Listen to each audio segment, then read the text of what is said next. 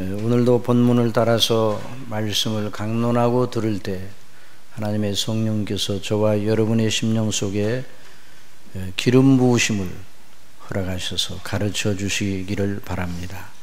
반드시 그런 은혜를 주실 줄 믿습니다. 오늘 특별히 지난 주일에 말씀드린 것처럼 21절에 어, 있는 말씀 성령으로 기도하며 성령으로 기도하라는 말씀을 중심으로 은혜 받기를 원합니다. 짧은 명령이지만 이 하나님의 권도 명령은 정말 크고 놀라운 비밀을 어, 지니고 있습니다. 우리가 성령으로 기도하라는 말씀의 실제 내용을 어, 알기 위해서는 언제나 우리가 그 중심을 잃어버리지 말아야 됩니다. 오신관이 우리가 지난 시간에 생각한 것처럼 지극히 거룩한 믿음 위에 자기를 건축하라는 말씀과 항상 연관지어서 생각해야 합니다. 이 본문은 그 믿음을 위하여 우리 주님을 믿는 참된 믿음을 위하여 네 가지로 나누어서 권면을 하고 있습니다. 지극히 거룩한 믿음 위에 자기를 건축하며 그것이 첫 번째 권면이고 두 번째 권면은 성령으로 기도하며 그리고 세 번째 하나님의 사랑 안에서 자기를 지키며 그리고 마지막으로 영생에 이르도록 우리 주 예수 그리스도의 긍휼을 기다리라. 그런데 이 네 가지로 나누어 어, 말씀하신 이 내용은 사실은 하나의 내용인 것입니다. 어, 너희는 너희의 지극히 거룩한 믿음 위에 자기를 건축하라 하는 그 말씀 속에 사실은 이 모든 권면이 다 들어가야 됩니다. 이것이 제목과 같습니다. 마치 열차에 비유하면 기관차와 같습니다. 기관차가 어 이제 여러 어 양의 열차 차량 그리고 여러 화물차에 그것을 다 이렇게 끌고 가잖아요.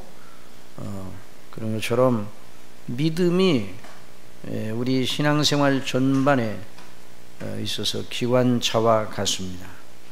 그래서 그 믿음이 부실하면 어, 마치 그 기관차의 동력이 예, 부실하면 그 전체를 끌고 갈 수가 없는 것처럼 어, 우리의 신앙생활 전반에 어, 연약이 나타나게 됩니다. 지난 시간에도 언급했지만 어, 한국 교회는 믿음은 있는데 행위는 어, 별로다 하는 이런 이야기가 많이 들리고 있습니다. 그래서 행위를 강조해야 된다. 어, 이렇게 어, 이제 다들 많이들 말하는데 물론 그 말도 일리는 있습니다. 그러나 더 잘 바르게 하려면 행함의 열매를 강조하면 되는 것이 아니라 믿음이 바른지 믿음의 뿌리를 믿음의 근원으로 나가서 그 믿음을 바르게 점검하는 일을 먼저 해야 돼요.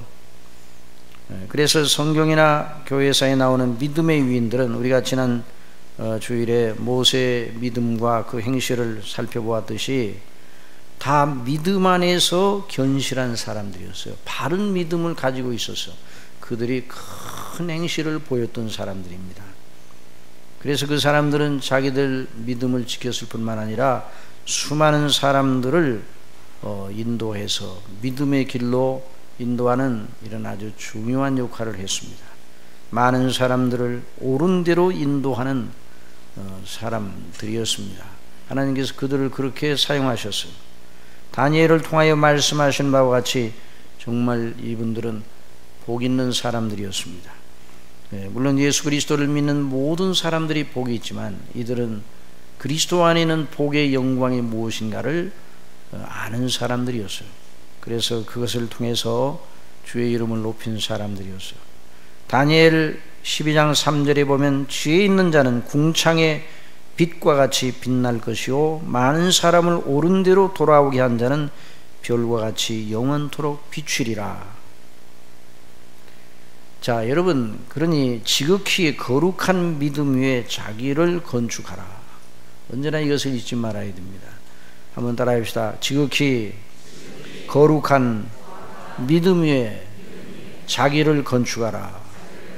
자, 우리 자신을 거룩한 믿음 위에 항상 건축해야 돼요.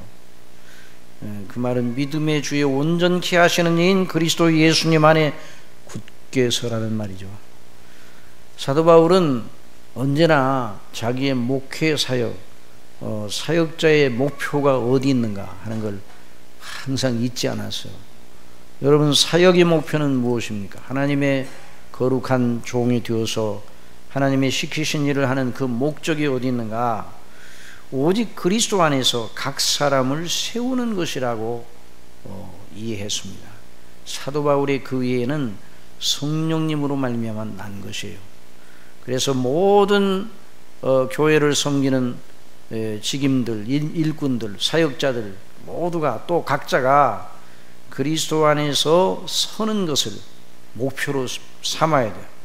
그래 골로새서 1장 25절에 보면 내가 교회 일꾼 된 것은 하나님이 너희를 위하여 내게 주신 경륜을 따라 하나님의 말씀을 이루려 합니다. 하나님의 말씀이 의동하는 하나님의 말씀을 통해서 목적하는 하나님의 뜻을 이루려고 하나님이 나를 일꾼으로 세우셨다 이런 생각을 했는데 그 목적이 무엇인가? 하나님의 목적이 무엇인가? 저와 여러분을 그리스도 안에서 구원하셔서 하나님이 기뻐하시는 자녀로 세우시는 것입니다. 이것이 하나님의 목적입니다. 그래서 흠도 티도 거룩 없는 거룩한 사람으로 그리스도의 영상을 본받는 사람으로 저와 여러분을 세우는 것 이것이 바로 하나님의 목표입니다. 저와 여러분도 그리스도 안에서 하나님의 영광을 위해서 흠도 점도 티도 없는 거룩한 사람으로 그리스도의 형상을 본받는 사람으로 자라야 되겠구나 하는 이것을 목표로 삼아야 됩니다. 그래서 이 모든 사람의 목표예요. 우리 그리스도인의 목표예요. 하나님의 목적이 곧 우리의 목적입니다. 그래서 우리 교회 어 이제 언제나 바꿔지지 않은 표현은 하나님의 목적을 지향하는 교회라 그렇게 표현을 정했는데 저와 여러분이 항상 하나님의 목적을 우리의 목적으로 어, 삼아야 됩니다. 이것을 언제나 잊지 말아야 됩니다. 그래서 사도는 자기를 일꾼 삼으시어 바로 그 일을 수종들게 하신다고 믿었습니다. 그래서 골로새서 1장 26절에 이 비밀은 만세와 만대로부터 오므로 감추었던 것인데 이제는 그의 성도들에게 나타났고 하나님이 그들로 하여금 이 비밀의 영광이 이방인 가운데 어떻게 풍성한 것을 알게 하려 하심이라. 이 비밀은 너희 안에 계신 그리스도시니 그 비밀이 하나님의 비밀, 우리의 비밀이 누구시라고요? 우리 속에 계신 그리스도십니다. 곧 영광의 소망이니라. 우리가 그를 전파하여 그리스도를 전파하여 각 사람을 권하고 모든 지혜로 각 사람을 가르치면 각 사람을 그리스도 안에서 완전한 자로 세우려 함이니 그 다음에 이를 위하여 나도 내 속에서 능력으로 역사하시는 예 역사를 따라 내 속에서 능력으로 역사하시는 이가 누구십니까? 성령님이십니다. 그래서 언제나 어, 이 거룩한 성삼위 하나님의 역사 속에 그 은택 속에 항상 사도 바울이 그 하는 법을 어, 배웠고 그것을 증거를 하였습니다. 그래서 그 내 속에서 능력으로 역사하시는 역사를 따라 힘을 다하여 수고하노라. 그랬어요. 또 고린도후서 11장 2절에 보면 내가 하나님의 열심으로 너희를 위하여 열심 내노니 내가 너희를 정결한 처녀로 한 남편인 그리스도께 드리려고 중매함이로다. 자, 이것이 사도 바울이 목회가 무엇인가라고 정의해 주세요. 규정해 주세요. 이렇게 묻는다면 그렇게 대답을 미리 성경에다 기록해 놨어요. 하나님의 열심으로 너희를 위하여 열심 내노니 내가 너희를 정결한 처녀로 한 남편인 그리스도께 드리려고 중매함이로다. 또 에베소 4장 11절에 그가 혹은 사도로 혹은 선지자로 혹은 복음 전하는 자로 혹은 목사와 교사를 주셨으니 이는 성도를 온전케 하며 봉사의 일을 하게 하며 그리스도의 몸을 세우려 함이라. 우리가 다 하나님의 아들을 믿는 것과 아는 일에 하나가 되어 온전한 사람을 이루어 그리스도의 장성한 분량이 충만한 데까지 이르리니 그러니 저와 여러분이 여기 주신 말씀대로 지극히 거룩한 믿음 위에 저와 여러분을 세우는 그런 일을 위해서 계속 매진해야 할 것입니다. 그래서 그 은택 안에 항상 거하는 것이요. 자, 그러면 이 은택 안에 거해, 거하지 않으면 어떻게 되는가? 안 된다, 이 말이에요. 믿음은 그 하나님의 은택의 방식, 은혜의 방식을 벗어나면 안 되게 되어 있어요. 우리 자신의 힘으로는 안 됩니다. 우리 자신의 의지로 열심을 다해서 섬기고 믿으려고 해야 됩니다. 그렇지만은 그러나 우리 자신이 아무리 해도 우리 자신의 힘으로는 안 돼요. 그래서 하나님의 은혜를 의지해야 됩니다. 은혜의 보좌 앞에 나가야 됩니다. 그래서 이 사도 바울은 어, 언제나 어, 때를 따라 돕는 은혜를 얻기 위하여 은혜의 보좌 앞에 담대히 나아가라고 어, 시브리서를 통해서 권면하였습니다. 은혜의 보좌 앞에 날마다 나가는 저희들이 되기를 바랍니다. 은혜의 보좌 앞에 우리는 지금 나와 있습니다. 우리 하나님 아버지께 예배를 드리는 이 시간 은혜의 보좌 앞에서 우리 아버지를 향하여 경배하고 아버지께서 주시는 은혜를 지금 받고 있는 것입니다. 그래서 이 믿음이라는 건 믿음이라 믿음을 믿음 위에 거룩하게 자신을 세운다는 말은 맹목적으로 꼭두각시처럼 어, 믿습니다. 무엇을 믿는지 누구를 믿는지 몰라도 그냥 믿습니다. 그러는 게 믿음이 아니에요. 그게 믿음이 좋은 것이 아니에요. 믿습니다라는 말을 아무리 크게 외쳐도 그 믿음은 부실한 것이에요.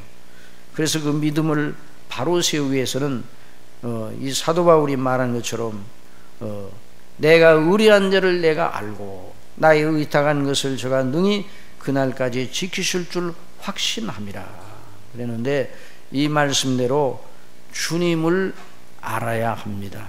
주님을 믿는 일과 함 따라합시다. 주님을 믿는 것과 아는 것에 하나가 되자. 그래서 주님을 믿고 아는 것이죠. 알기 믿기 위해서 아는 것입니다. 알면 더 주님을 바르게 믿어 나가는 것입니다. 그래서 이 어, 믿음은 내가 믿는 자를 아는 지식 위에 선 믿음이에요. 내가 믿고 의뢰하는 주님이 어떠신 분인지 누구신지 주님께서 나와 어떤 관계인지 나를 위해 무엇을 하셨는지 앞으로 주님의 이름과 영광을 위하여 나의 행복을 위하여 무엇을 하실 것인지 등을 아는 지식 성경에 기록된 대로 성경에 기록된 내용을 늘 공부하고 풀어 어, 증거하고 듣고 배우고 하는 과정을 통해 주님을 알아가는 것이죠. 어, 그러니까 정말 예, 우리의 믿음은 어, 이 세상의 어떤 학문과 어떤 어, 어, 전문적인 분야에서도 어, 이, 이 믿음의 지식을 믿음의 의식을 뛰어넘을 수가 없는 것이죠. 그래서 성경에서 말하는 주 하나님을 믿는 믿음은 다른 모든 이론들을 뛰어넘는 높은 의식입니다. 여러분, 저와 여러분이 예수님을 믿는 것은 어, 그 이상은 없습니다. 여러분, 예수 그리스도를 믿는 것보다 더 높은 것은 없습니다. 그리 믿으시기 바랍니다. 그러니까 우리가 믿는 이 믿음은 우리가 믿는 믿음은 가장 정당한 것이에요. 인생이 인생이 오를 수 있는 최고의 경지가 그리스도를 믿는 것입니다. 그런데 이런 이 최고의 경지에 오를 만큼 우리의 의식이 어떻게 여기까지 올라왔느냐 말이에요. 이것을 언제나 우리에게 물어야 돼요. 나 같은 사람이 나 같은 사람이 어떻게 주님을 믿게 되었는가? 이 의식은 어디서 난 것인가?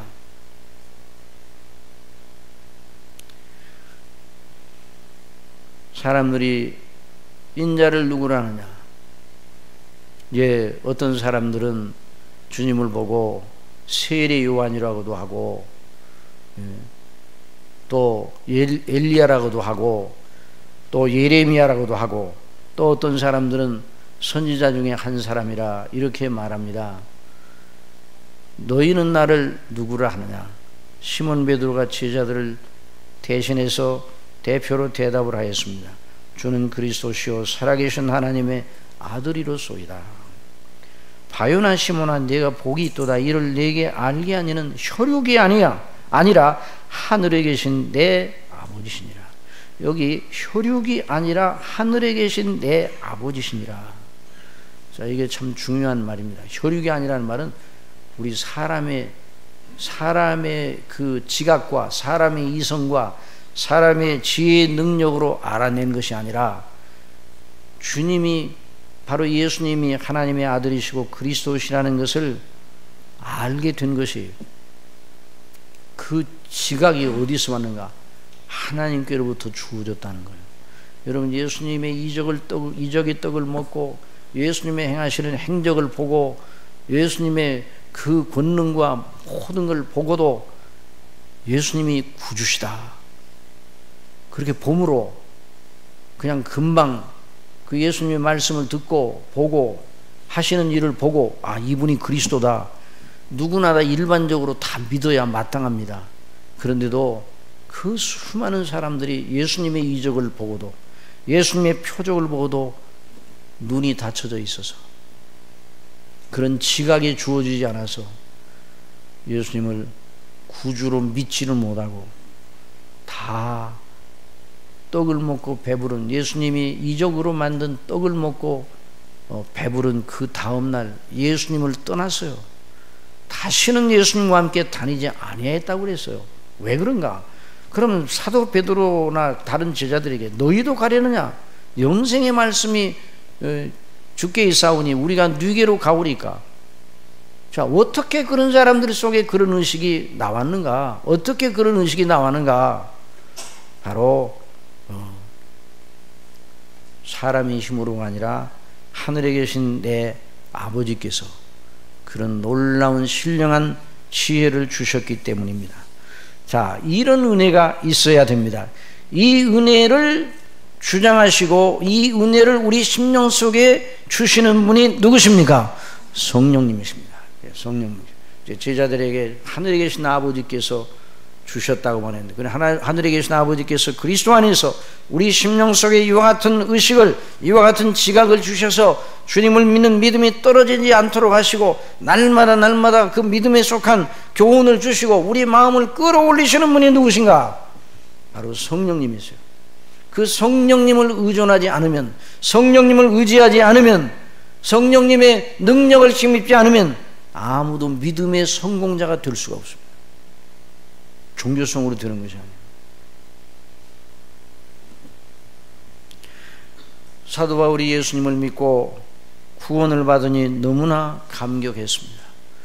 그 은혜를 어떻게 보답할까? 그 은혜를 어떻게 보답할까? 여호와께서 내게 주신 은혜를 무엇으로 보답할까? 시편 116편 기자가 말한 것처럼 그렇게 생각하고 하나님의 뜻대로 해야 되겠구나. 하나님의 계명이 원하는 대로 해야 되겠구나. 그래서 온 힘을 다해서 하나님의 계명을 지키고 하나님의 율법의 정신을 또 지켜서 하나님의 이름을 높이고 주의 영광을 드러내겠다고 생각을 했어요. 그런데 어떤 일이 일어났습니까? 원하는 대로 되지 않았습니다. 나의 행하는 것을 내가 알지 못하노니 곧 원하는 이것은 행하지 아니하고 도리어 미워하는 그것을 함이라. 예? 원하는 것은 내가 선을 행하기 원하는데 선을 행하는 것이 내게는 없구나. 마음대로 되지 않는 거예요. 그래서 이제 교회사 쪽으로 교회사 속에서 보면 자유 의지가 있느냐 없느냐로 아주 신학적인 논쟁을 많이 했어요. 자, 자유 의지라는 건 뭔가니 내가 어떤 선을 행해야 되겠다고 의지를 세우면 그 선을 행하기까지 내 의지를 내 마음대로 끌고 가서 결국 그 선을 이룰 능력이 있느냐 이 말이에요. 어떤 사람은 있다.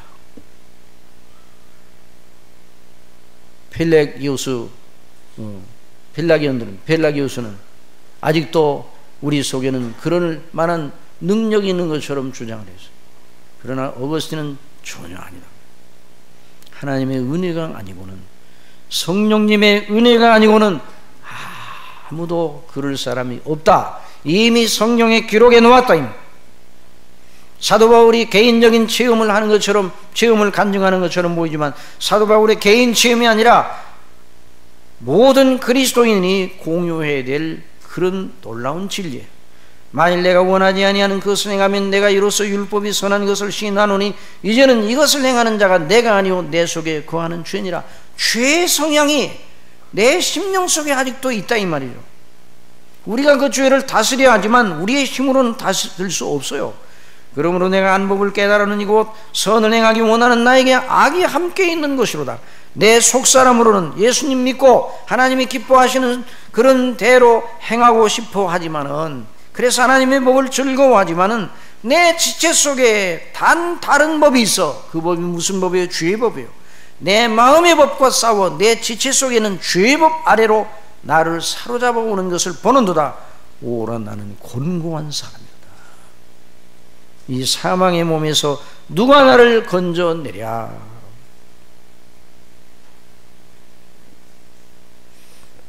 그래서 노마스 8장에 7장에서 그렇게 탄식을 하고 로마서 8장으로 넘어가게 됩니다. 로마서 8장은 그리스도 예수님 안에 있는 생명의 성령의 법에 대해서 말합니다. 한번 따라합시다. 그리스도 예수 안에 있는 생명의 성령의 법이 너를 해방하였습니다. 그러니까 그리스도 안에 있는 생명의 성령의 법을 의존해야 돼. 이미 법정적으로 우리는 종죄에서 벗어났어요. 이제는 그리스도 안에 있는 생명의 성령의 법을 의존하는 법을 의존하는 그런 연습을 해야 되는 것입니다. 그리스도 안에서 하나님께서 허락하신 은혜라는 건 바로 그것을 말하는 거예요. 이 성령의 놀라운 은혜를 무엇을 통해 주시는가? 말씀과 기도를 통해서 주십니다. 자, 여러분 따라 해봅시다. 은혜의 방편. 자, 은혜의 방편이라는 건 하나님께서 은혜를 우리에게 주실 때 그냥 비나 어, 햇빛처럼 그냥 막 주시는 게 아니라 방편을 통해 주시는 예? 수도 파이프를 통해서 물이 우리 집까지 오잖아요. 수도 꼭지를 열면 물이 나오는 건그 연결이 돼서 나오는 거예요. 하나님께서 지정하신 방편이 있어요. 말씀과 기도입니다. 말씀과 기도. 그리고 교회론적으로 성례입니다. 성례가 은혜의 방편입니다. 그래서 다음 주에 우리가 성례를 하는데 이 성례를 통해서 하나님이 주시는 은혜가 크다는 걸 여러분 믿으시기 바랍니다. 그래서 그래서 이제 교회론적으로 말씀과 기도와 성례가 말씀과 기도와 성례가 바로 은혜의 방편이요. 개인적인 경건이 있어서 말씀과 기도로 늘 깨어 있고 그리스도 예수님의 십자가의 대속의 은혜, 그 죽으심과 부활하심을 늘 마음속에 생각할 때 우리 심령 속에 은혜가 넘치는 것이에요. 자, 그래서 우리가 기도해야 됩니다. 말씀과 기도가 병행하는 믿음 생활이 바로 성경에서 가르쳐 주시는 경건의 생활이죠. 그런데 자 성령으로 기도하라에 대해서 우리가 배우고 있으니까 자 진정 기도한다. 진정 바르게 기도한다. 이게 쉬운 일입니까? 어려운 일입니까? 여러분의 체험 속에서는 어떻습니까? 여러분의 경험 속에서는 어, 바르게 기도하는 것이 쉽습니까? 어렵습니까? 어렵습니다. 다 어려워요. 어? 기도에 능한 사람은 없는 거예요. 나는 기도를 마스터했다. 어? 기도를 마스터했다. 있을 수 없는 말이에요. 나는 기도에 대해서는 아주 아주 어? 그 법을 비밀을 다 알았다. 이렇게 말할 수 있는 사람은 한 사람도 없어. 기도가 그리 쉽지 않습니다. 왜냐하면 우리 속에 두 원리가 있다는 걸 잊지 말아야 돼요. 한번 말합시다. 육체의 원리, 성령의 원리, 새 생명의 원리인 성령께서 우리를 인도하시는 그 거룩하신 역사가 우리 속에 있어요. 그러나 그것을 대항하는 육체의 소욕이 있는 것이 그걸 잊지 말아야 돼요. 성령으로 기도하라 하는 그런 말씀을 하실 때, 이, 왜 그런 말 하는가? 그 말씀의 배경에는 육체로 기도하지 말라. 여러분 이방인들도 기도합니다. 저와 여러분의 기도, 하나님의 자녀의 기도가 이방인들 하나님을 모르는 이방인들과 같은 기도가 돼서는 안 되는 것입니다. 육체의 정욕으로 기도하면 안 된다는 말이죠. 너희 중에 싸움이 어디로 다툼이 어디로 쫓아나느냐 너희 지체 중에서 싸우는 정욕으로 무슨 정욕으로요?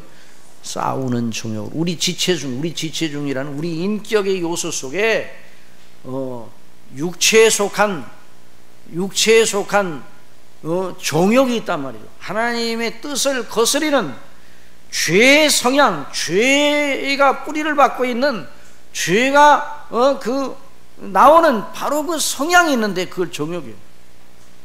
정욕으로 쫓아나는 것이 아니라 구하에도 받지 못하면 정욕으로 쓰라고 쓰려고 잘못 구함이니라. 그냥 이것을 늘 잊지 말아야 돼. 자, 옛 사람의 옛 사람의 원리가 아직도 우리 속에 있어요. 새 사람의 원리가 우리 속에 주어졌어요. 그러니까 믿는 사람과 믿지 아니하는 사람 차이는 어디 있는가? 믿는 사람 속에는 새 생명의 원리, 새 사람의 원리, 영생의 씨앗이 주어졌습니다. 보혜사 성령께서 그 속에서 역사하십니다. 여러분 믿습니까? 저나 여러분이 항상 의시가 의식해야 돼요. 나는 내 속에는 누가 계시다고요? 성령께서 계시다. 그래서 내 몸은 주의 전 성령님께서 거하시는 존이라 이 말이 거룩한 존이라. 이걸 잊어서는 안 돼요. 그런데 여전히 내 속에는 또 뭐가 있다고요? 옛사람의 어, 요소, 어, 육체의 사람이 있다. 육체의 사람에 속한 옛사람이 속한 그런 소욕이 있단 말이죠. 이 두 소욕이 싸우는 것이죠.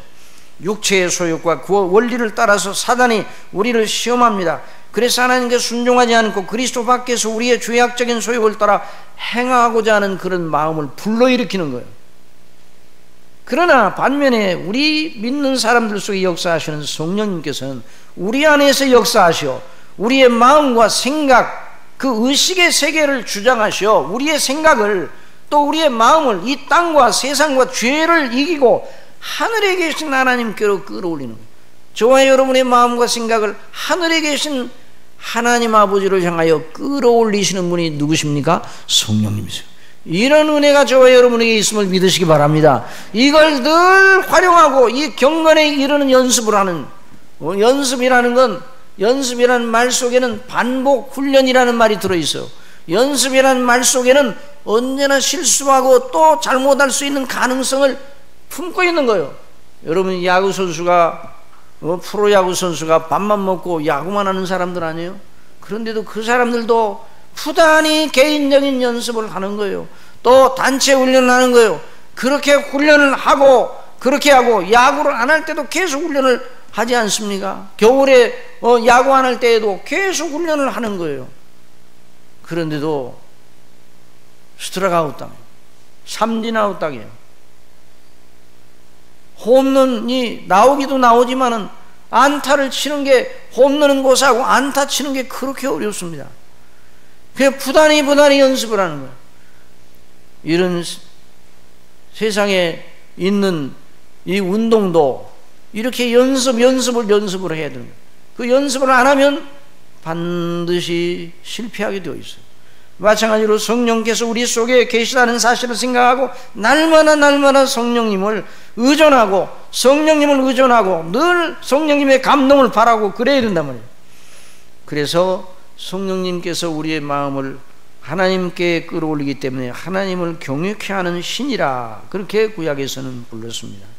또 성령님께서 궁극적으로 아버지의 뜻 안에서 우리 주 예수 그리스도께서 아버지의 원하시는 바 그 목적, 그것을 늘 이루어 나가시는 그런 놀라운 영이시기 때문에 예수님 안에서 그 아버지의 목적하신 뜻을 이루어 나가시기 때문에 아버지의 신, 하나님의 신이라고도 하고 예수의 영이라고도 그렇게 표현해요.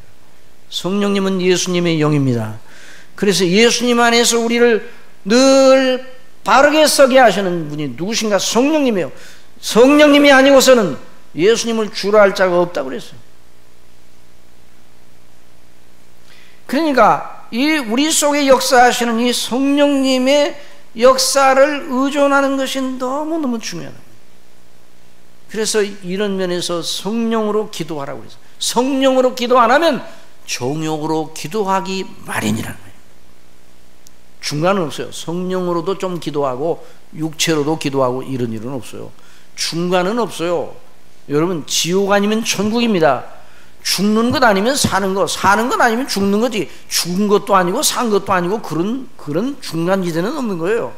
성령으로 기도하지 않으면 육체로 기도하게 되어 있는 거예요. 육체로 기도하는 건 그 속에 누가 자리 잡고 있는가? 내가 자리 잡는 나의 욕심이 자리 잡는 성령으로 기도하는 사람은 하나님의 자녀답게 하나님의 뜻대로 기도하는 것이죠. 어, 그래서 하나님께서 은혜를 주시는 그 방식이 그렇단 말이에요. 그런데 노마스 8장 26절에 잘 여러분 들으셔야 돼요. 자, 노마스 8장 26절 이하에서 사도가 기도와 관련돼서 성령께서 기도하는 일과 관련돼서 어떤 역사를 하시는가를 이렇게 어, 증거하고 계십니다. 좀 들어보십시오. 이와 같이 성령도 우리 연약함을 도우시나니 우리가 마땅히 빌 바를 알지 못하나 오직 성령이 말할 수 없는 탄식으로 우리를 위하여 친히 간구하시느니라 마음을 감찰하시는 이가 성령의 생각을 아시나니 이는 성령이 하나님의 뜻대로 성도를 위하여 간구하십니다. 여러분 성령께서 하나님의 뜻대로 성도를 위해서 간구하신다 하셨습니다. 여러분 믿습니까? 저와 여러분을 위해서 성령께서 하나님의 뜻대로 위하여 하나님 아버지께 간구하신다고 그랬어요. 그래서 그 성령님께서는 하나님의 뜻대로 드리는 어, 기도니까 반드시 응답이 되죠. 그런데 이 대목에 대한 해석을 잘 해야 돼요. 자, 이 대목을 이 로마서 8장 26절 이 대목을 읽고 아, 우리가 그럼 우리가 기도하는 어, 기도가 잘, 잘 잘못하는 경우가 많으니까 아, 우리가 기도하는 손을 놓고 하나님의 성령께서 대신 우리를 위해서 간구해 주시는구나. 그래서 어, 우리가 기도하는 손을 놓고 그냥 가만히 있어도 성령께서 우리를 위해서 기도하시는구나. 이렇게 이걸 적용하면 안 돼요. 그래서 이 대목의 해석이 참 중요합니다. 그래서 칼빈 주석을 제가 찾아봤어요. 주석의 왕이라는 칼빈 주, 칼빈은 어떻게 말했는가? 어, 이 대목은 성령께서 저와 여러분을 위해서 대신 우리는 가만히 기도하지 않도록 대신 가만히 놔두고 열중샷 시켜놓고 성령께서 우리는 가만히 있게 하고 기도하신다. 그러면 우리는 기도를 안 하고 가만히 있으면 된다. 이런 것이 아니라는 거예요.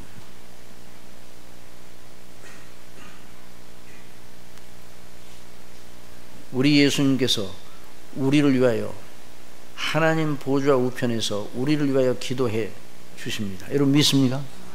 그 기도는 중보의 기도라며 따라서 중보의 기도. 예, 먼저 번에 우리 저 조성모 목사님도 오셔서 어, 그런 말씀을 하셨는데 중보의 기도라는 말 요즘 뭐 교회마다 뭐 유행해요. 그런데 중보의 기도라는 말은 엄격한 의미에서 예수님께서만 드릴 수 있는 기도입니다. 중보의 기도라고 하지 말고 남을 위해서 기도한다. 도고의 기도, 도고. 한번 따르세요. 도고. 좀 어려운 말이에요. 남을 위해서 기도한다 그래야지 중보의 기도라는 말을 쓰면 안 되는 거예요, 사실은요. 하여간에 자, 예수님께서 우리를 위하여 중보의 기도를 하나님 우편에서 드리고 계십니다. 여러분, 너무나 너무나 놀라운 일 아닙니까? 그런데 예수님께서 우리를 위하여 중보의 기도를 드리시는 것처럼 성령께서도 우리 속에 우리가 기도하는 것을 중단시키고 가만히 있으라 내가 대신 기도해 줄게 이런 식으로 기도한다고 이해하면 안 된다는 거예요.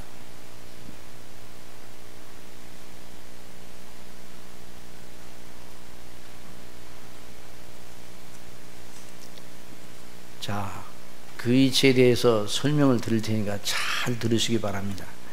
우리가 때를 따라 하나님의 은혜를 구하여 은혜의 보좌 앞에 나아가서 마땅한 기도를 드려야 하나 우리가 연약하여 우리 속에 육체의 소욕이 여전히 있기 때문에 무엇을 구해야 하는지 마땅하게 어떤 것을 구해야 하는지 우리의 마음의 갈피를 잡기가 어렵습니다.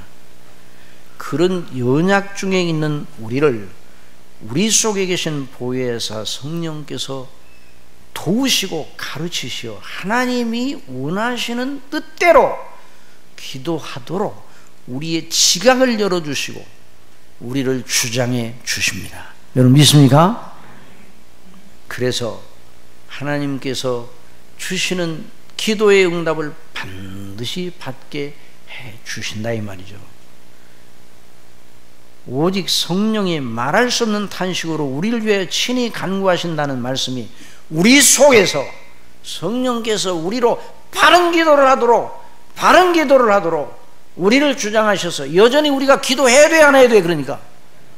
성령으로 기도하라고 하는 것처럼 이 성령님께서 우리 속에 간구하시는 단식으로 우리를 위해 친히 간구하시는 이 놀라운 은덕을 입기 위해서는 기도해야 돼, 기도, 기도. 기도를 안 하고, 기도를 놓고, 아무 성령께서 다 알아서 해주시는데 내가 기도할 게 뭐냐. 이런 사람에게는 이와 같은 놀라운 은혜의 그 어? 영광을 맛볼 수가 없다는 것이죠. 반드시 기도해야 됩니다. 그런데 우리 혼자 내버리면 정욕으로 기도하기 마련입니다. 하나님께서 기뻐하시는 기도를 못 드려요. 그래서 마음을 감찰하시는 어?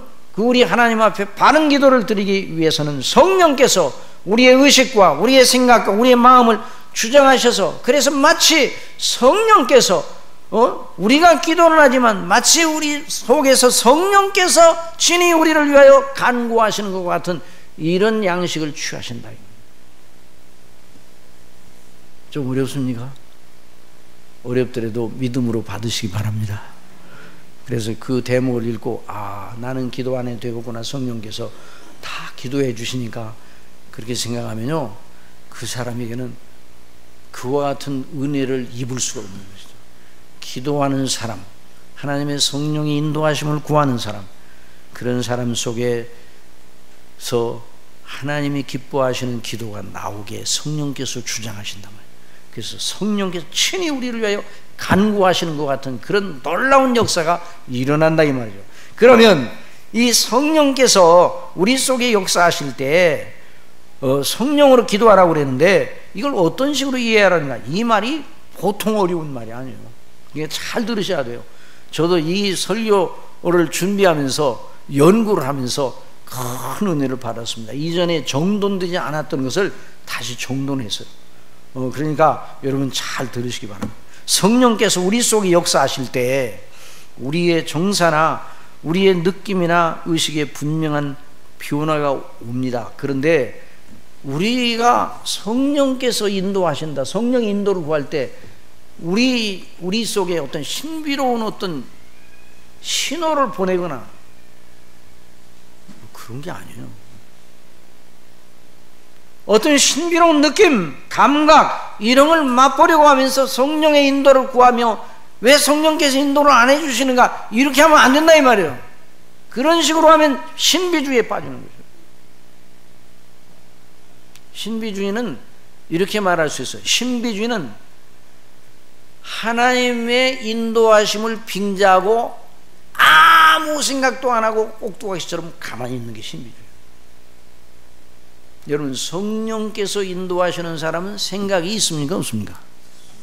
있습니까 없습니까? 있어요. 이때 바른 생각을 하는 거예요. 아시겠어요? 성령께서 우리를 주장하셔서 우리 속에 있는 이성, 생각, 마음 이런 인격의 중요한 분별력 이런 것을 주셔서 인격적인 바른 활동을 하도록 인도해 주시는 거예요. 성령께서 우리를 인도하신다고 그럴 때 신비로운 신호를 보내. 어, 성령께 인도하시는구나. 어떻게 느꼈어요? 아, 어? 뭔가 내가 내가 지금 느낌이 오는데 뭐 그런 식으로 하면 그 사람은 불건전한 신비주의에 빠지는 겁니다. 그래서 그렇게 하면 안 되고 성령의 인도하시는을 따라서 성령으로 기도하는 사람은 어떻게 해야 되는가? 바른 인격적 어? 지정의, 지, 지식과 또는 의지와 정서와 이 모든 작용을 바르게 해야 돼요. 그대로 해야 돼요. 이게 성령의 인도하심을 받은 사람은 지성과 정서와 의지가 내가 속박을 당하고 있구나 이런 생각을 하지 아니하고 자유함을 얻습니다. 그리스도 안에는 자유함을 얻습니다. 그러니까 바른 생각을 하게 돼, 바른 생각을. 그래서 지존하는 하나님께서 우리의 아버지이심을 인하여 감사하며 기뻐하며 다음과 같이 해야 됩니다. 성령의 인도하심을 구하는 사람, 성령으로 기도하는 사람은 그렇게 해야 돼요. 첫째, 한번 따라합시다. 성령님의 인도를 구하라. 기도할 때 누구, 누구의 인도를 구하라 그래요? 성령께서 이 기도를 인도해 주시기 바랍니다. 저를 기도하는 저를 붙잡아 주시기 바랍니다. 두 번째, 말씀 성령에서 배운 대로 말씀대로 기도하시기 바랍니다. 뭘대로요? 말씀대로, 말씀대로. 그를 향하여 우리의 가진 바 담대한 것은 이것은 그의 뜻대로 무엇을 구하면 들으십니다. 그의 뜻대로라는 말은 말씀대로예요. 한번 따라합시다. 말씀대로.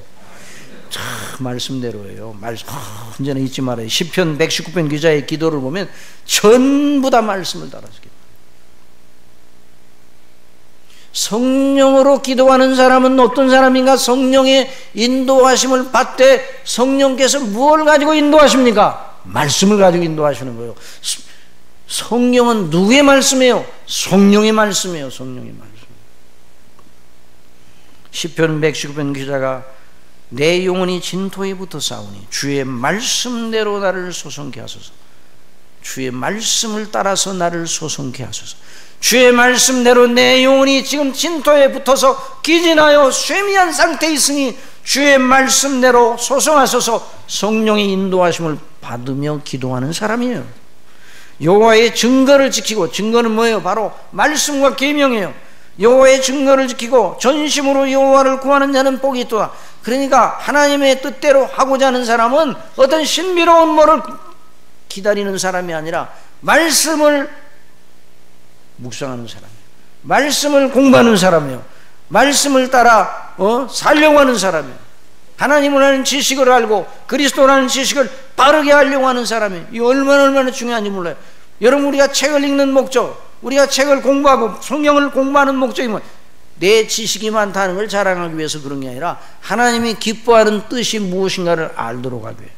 그래서 늘 어, 이 시편 기자는 야경이 깊기 전에 깨었다고 그랬어요. 왜? 말씀을 묵상하려고. 그러다가 바로 기도로 연결이 되었습니다. 그러니 말씀을 모르면 바르게 기도 못합니다. 말씀을 모르면 성령의 인도하심을 받을 수가 없어요. 성령께서 그 말씀을 통해 그 사람의 생각과 마음을 끌어올리시는데 거룩하게 하시는데 말씀이 없이 어떻게 그 사람을 끌어올리실 수가 있어요? 아버지의 말씀은 진리니다. 말씀으로 진리로 저희를 거룩하게 하옵소서. 우리 예수님께서 어, 기도해 주셔서 응? 대제사장적인 기도 요한복음 17장에 있는 기도에서 또 그 다음에 말씀 속에서 그냥 말씀을 그냥 그냥 암기만 한다 그러냐 말씀 속에서 하나님이 누구시며 어떠한 분이신지 우리를 위하여 그리스도 예수님 안에 어떤 목적과 뜻을 세우셨는지를 묵상해야 돼요. 그러니까 기도할 때 기도할 때 내가 가지고 있는 이 문제를 위해 기도한다고 할 때 그 문제 자체만 바라보고 기도하면 정욕으로 구하게 되는 겁니다. 그러지 말고 이 문제가 있더라도 큰 목적을 두고 큰 목적을 두고 오늘 장 기도하신 것처럼 하나님께서 그 목적을 세우시고 어, 이 세상을 지으시고 통치하시고 구원하시고 심판하시는 하나님 그리고 우리 기도했잖아요 우리가 오늘 그 그것처럼 하나님의 큰 목적을 두고 그리스도 안에서 우리를 위하여 예정하신 그, 그 영광스러운 목적 그리스도 안에 우리를 어떤 자로 만드시려는가 그 큰 그림 속에 더 합시다 큰 그림을 그리라 무슨 그림을 그리라고요? 큰 그림을 그려 우리의 문제를 작게 거기에다가 미분적으로 어? 작게 우리의 문제를 어? 집중하고 있으면요 육체로 기도하게 됩니다. 큰 그림, 하나님의 목적과 그리스도 안에 우리를 구원하신 그 목적, 그 목적에 비추어 현재의 상황을 보라 말이에요. 그 상황이 아무리 힘들고 복잡하고 그래도 하나님의 사랑하심을 받아 그리스도 안에서 구원받은 하나님의 자녀로 어떤 마음과 자세를 가져야 될 것인가를 생각하란 말이에요. 기도는 생각해도 안 해야 돼요. 기도는 막 솟아부처럼 막 쏴대는 게 기도가 아니에요. 물론 뭐 우리 의식을 주장하는 성령의 인도하심 통해서 막 부르짖고 뭐 그런 기도도 있기도 하지만 하나님의 주시는 그 말씀을 생각하면서 어? 내가 어떤 생각과 마음을 가져야 되고 어떤 행실을 되는가 이런 상황 속에서 어떻게 하는 것이 옳은가 이걸 생각해 봐야 돼요. 그걸 주장하시는 분이 누구라고요? 성령님이시. 성령님께서 그럴 때 성령께서 우리에게 지각을 주십니다. 그리고 그런 음, 하나님 앞에 합당한 마음과 생각과 행실을 하도록 은혜를 주십사고 하나님 앞에 기도하면 하나님께서 반드시 은혜를 주십니다. 여러분 믿습니까? 이것이 바로 성령님으로 기도하는 성령으로 기도하는 법이에요. 다시 한번 정돈합니다. 첫 번째 뭐라고요? 성령으로 기도하는 성령으로 기도하는 성령님의 인도를 구하라. 두 번째 말씀을 말씀을 상고하라. 세 번째 말씀대로 어 그다음에 뭐예요? 또 말씀대로 하고 난 다음에 또 우리 속에서 역사하시는 하나님이 누구신가? 하나님의 목적, 그 말씀에 따라 큰 그림을 그리라. 그리고 현재 내가 처한 상황 속에 어떻게 하는 것이 하나님의 자녀로 합당한 것인가 생각하라. 그 놀라운 바른 자녀로서의 거룩한 행실을 위해 필요한 은혜를 주시옵소서라고 기도하는 것이에요. 그래서 시간이 갔지만은 조금 더 시편 3편의 기자, 제가 설명할 테니까 보세요. 시편 3편의 기자의 경우를 봅니다. 시편 3편 기자가 다윗인데요. 다윗이 이렇게 말했습니다. 좀 들으세요. 여호와여 나의 대적이 어찌 그리 많은지요. 나를 일어나 나를 치는 자가 많도소이다. 많은 사람이 있어 나를 가리켜 말하기를 저는 하나님께 도움을 못지 못한다 하나이다. 이런 기도를 할때그 다윗의 형편이 얼마나 군구바였으면 얼마나 막막하였으면 이런 기도를 했느냐 말이에요. 너무너무 기가 막혀요. 너무너무 견디기 힘들어요. 자기 힘으로는 도저히 이 상황을 헤쳐나갈 길이 없어요. 사람들이 말합니다. 저 사람 하나님께 버림을 받았기 때문에 저런 어려운 일이 저 사람에게 오는 거야. 네가 하나님께 도움을 요청해도 너 하나님이 돕지 않으실 거야. 라고 비양거립니다. 정말 이런 경우에 어, 그 압박은 너무 커서 살 소망을 잃어버려. 의기, 의기가 소침되고 너무너무 어, 그래서 삶의 의미에 대한 것이 보이지 않아요. 그때 대번이 누가 오는 거니? 사단이 옵니다. 사단이 와서 너 그렇게 살 바에야 무엇 때문에 사냐? 차라리 죽는 게 낫지 않나? 이렇게 사단이 카드를 제시하는 거예요.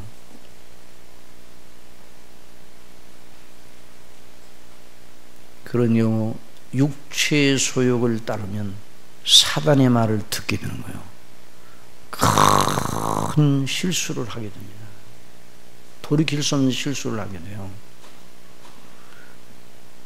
그러면 현재 상황도 어려워 견디기 힘든데 마음까지 힘을 잃으면 다 부서져 버리는 거예요. 여러분 현재 상황이 어려워도 그것 때문에 여러분 마음도 무너지는 처참에 처하지 마시기 바랍니다. 현재 상황이 어때도 상황이 있는다 할지라도 죽어도 내 마음은 절대로 죽지 않는다. 나는 산 소망을 가진 자다. 하나님이 나의 하나님이시고 그래서 하나님 앞에 기도하시기 바랍니다. 이런 심령을 누가 주신다고요? 성령께서 주시는 거예요. 성령께서. 그래서 이 다윗이 기가 막힐 상황에서 그냥 사단이 와서 그냥 사람을 통해서 막 그 다윗을 공격합니다. 그러나 다윗은 일어났습니다. 하나님 앞에 기도하였습니다. 하나님의 도움을 구하였습니다. 하나님의 은혜를 믿었습니다. 그랬더니 뭐라고 그랬는가? 어? 다윗이 뭐라고 그랬어요? 다윗이 응? 내가 누워 자고 깨었으니 자 하나님께 부르짖었더니 내가 누워 자고 깨었으니 자 은혜 받았어요? 못 받았어요? 자, 여러분, 어? 다윗이 말해요. 누워 자고 깨었다. 누워 자고 깨었다. 그러면 여러분 고통스러울 때는 자기가 힘듭니까? 힘들지 않습니까? 아, 힘들어요. 그러니까 어? 어떻게 했는가? 여호와여 주는 나의 방패시오. 어떤 기도를 드리는가? 여호와여 주는 나의 방패시오. 나의 영광이시오. 나의 머리를 드시는 자신이다. 사람 안 바라봤어요. 현황 현재 자기를 압박하는 그걸 안 바라보고 누구를 바라보는가? 하나님을 바라봤습니다. 여러분 어떤 상황에도 하나님을 바라보시기 바랍니다. 하나님을 바라보는 눈이 수하지 않으면 그 사람을 무너뜨릴 어떤 것도 없는 것입니다. 사도 바울이 어? 날마다 내가 종일토록 도사를 양같이 여김을 받았나이다 함과 같으니라. 그러나 나를 사랑하시는 이로 말미암아 내가 넉넉히 이김을 확신한다고 그랬습니다. 여러분 믿습니까?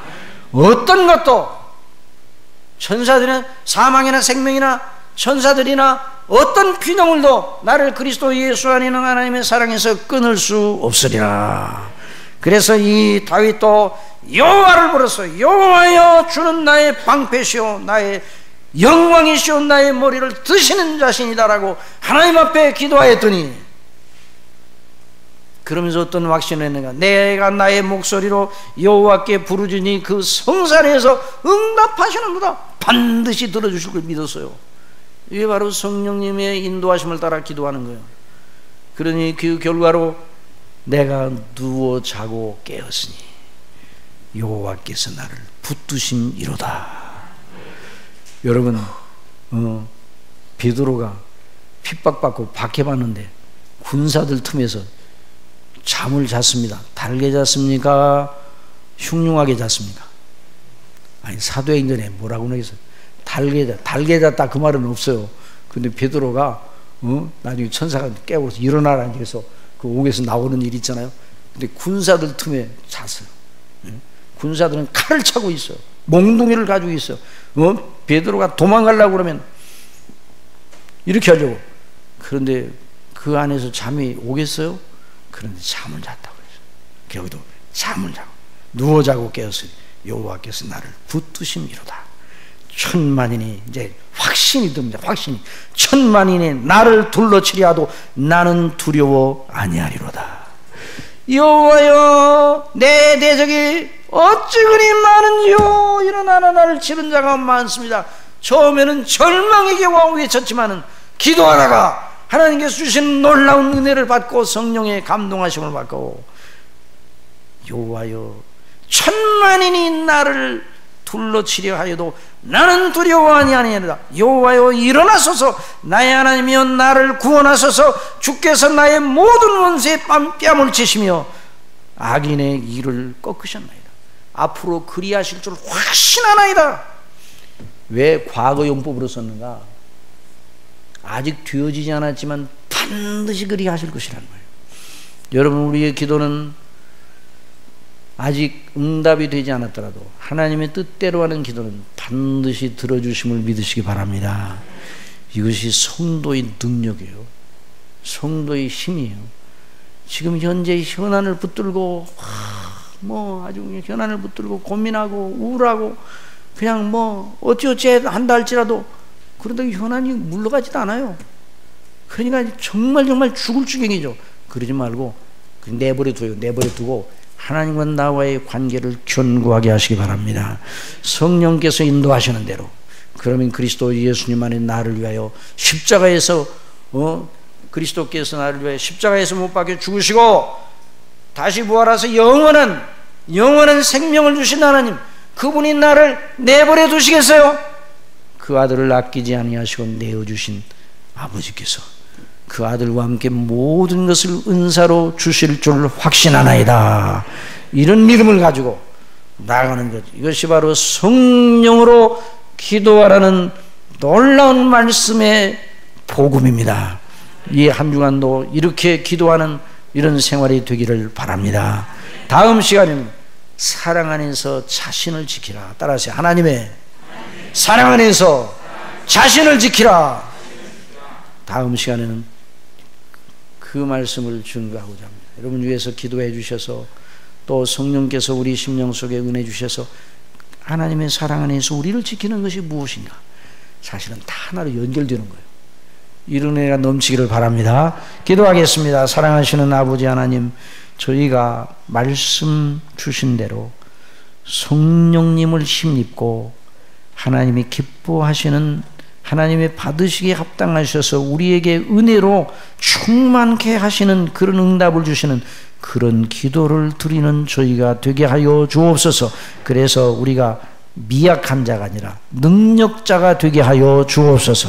죄를 이기고 세상을 이기고 사단의 권세를 이기고 하나님이 기뻐하시는 뜻을 순종하는 능력자가 되게 하여 주옵소서. 예수님의 이름으로 기도드리옵나이다. 아멘.